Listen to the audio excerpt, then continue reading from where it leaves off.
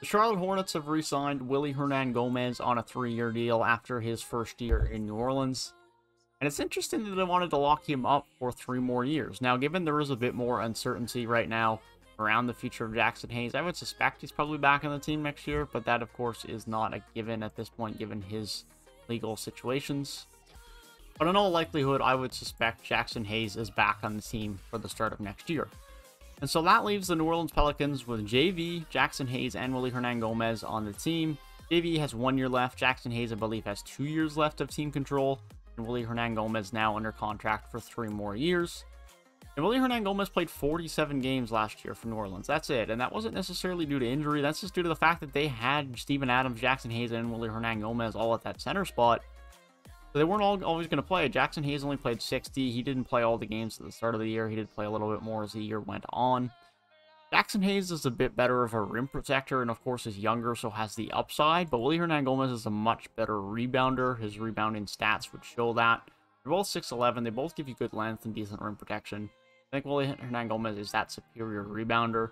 Neither are floor spacers by any stretch. Neither of them are sitting out of the three-point line shooting threes by any regard. Um, neither of them are terrible free throw shooters. Neither of them are great free throw shooters.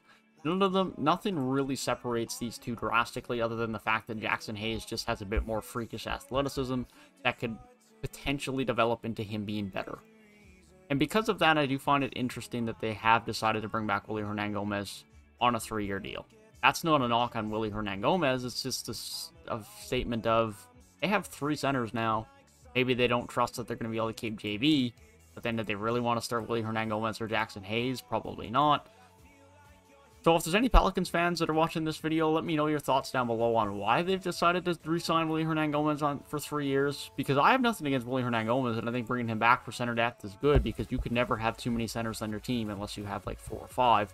But centers and often have more injuries than any other position. It's just the nature of being that tall, that lengthy getting knocked down to the ground, knee injuries, back injuries, that much weight.